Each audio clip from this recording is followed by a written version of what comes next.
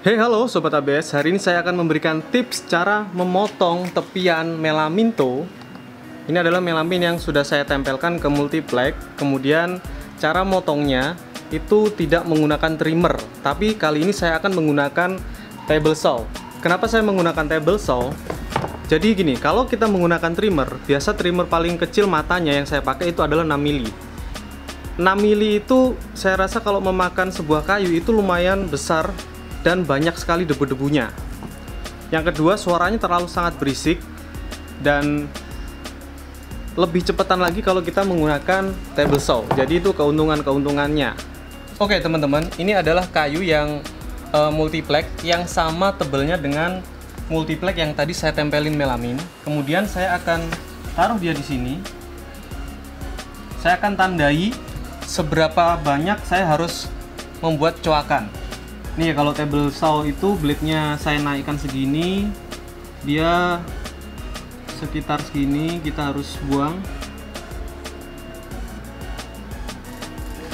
Ini ya.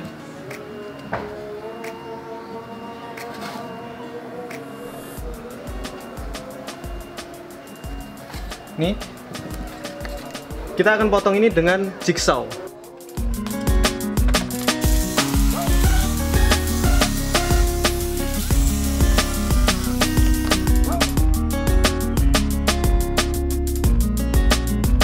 Oke, sudah saya kasih countersink, saya kasih scrub. Sekarang saatnya uh, kita pasang di meja table saw ini.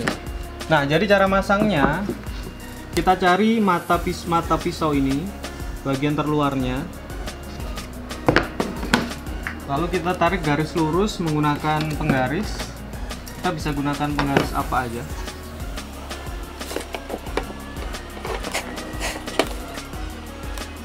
Diratakan dengan fans yang kita buat tadi. Setelah itu kita kencangkan skrupnya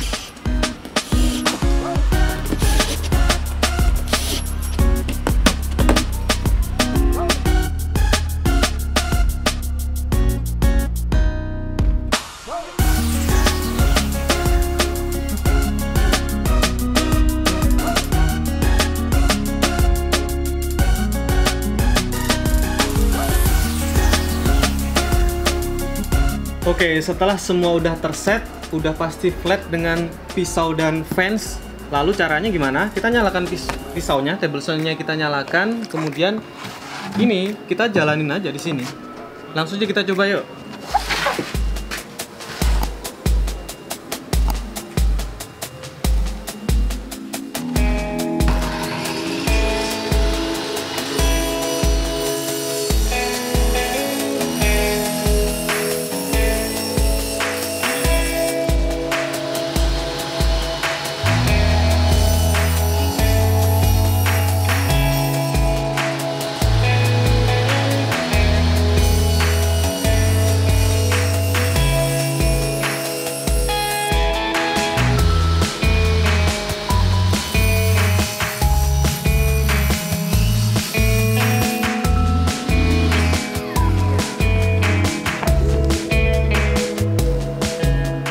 Oke ini hasilnya.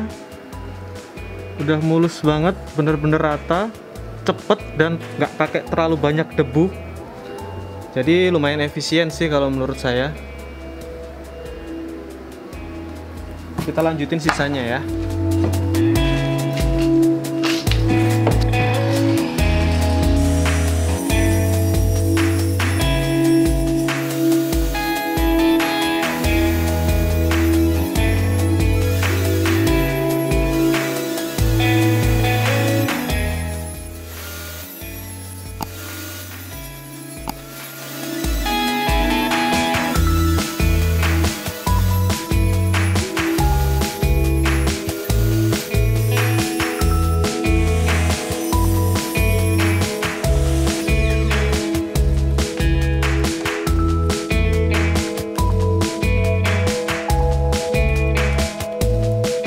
Oke, prosesnya cepet banget dan ini sisa-sisa ini kalau misalkan kita tadi pakai trimmer yang matanya 6 mili saya yakin ini pasti akan habis kemakan sama trimmer dan debunya sangat banyak sekali.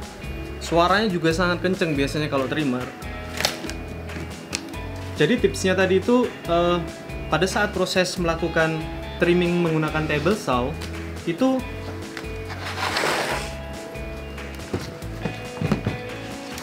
dari depan sini kita dorong bagian sini selalu ke arah fans, selalu berdekatan dengan fans. Setelah dia melewati melewati fans satunya, baru kita tekan dua-duanya di arah tengah ini ke arah fans semua. Setelah lewat dari blade, kita tekannya yang depan sini, jangan yang belakang sini lagi. Jadi itu aja yang perlu diperhatikan. Oke guys, terima kasih banget untuk kalian yang sudah menonton tips kali ini. Semoga tipsnya bermanfaat karena semakin ke sini memang saya punya beberapa inovasi dan itu sudah umum dilakukan oleh mebel-mebel yang ada di luaran sana. Jadi ini bukan pure ide saya tapi sudah ada sebelumnya. Semoga bermanfaat. Jangan lupa follow Instagram saya di abs underscore furniture karena di sana saya upload instastory tentang proyek yang sedang saya kerjakan. Dan sampai jumpa di video selanjutnya. Dan ciao.